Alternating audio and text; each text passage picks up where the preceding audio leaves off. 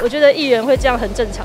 我觉得大家也因为这些事情有被打了一些预防针，我觉得心理上有所警觉蛮重要的。嗯，我觉得最 shock 可能是黄子佼吧，就觉得蛮文青的，跟他原本的形象反差蛮大的。我觉得 no no 哎，因为这个其实他关注度没到那么高，可是他的那个严重性其实蛮大的。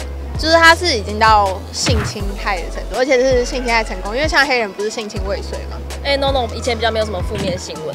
我那时候就是在很多人的地方，然后他就直接过来抱我。我朋友的男朋友就是那还在学校，直接去那个性平会申诉他，回去就填表格，之后就很多人出来帮我作证。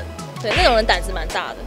啊 因为我们原本想去调监视器，把他告到警局，但是觉得他年纪还小，觉得还有教化之可能，所以就是想说，这学校性平会就好，就是可能要做一些上一些性平课，跟做一些劳动服务。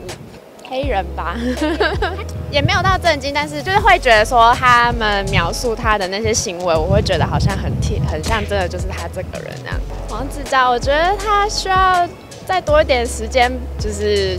情绪上的调养吧，应该是炎亚纶，因为我蛮喜欢他的。嗯，我会比较挺被骚扰的那一方，因为我觉得他们要说出这种想法就已经很困难了，所以肯定是要有心理建设才会愿意说出来。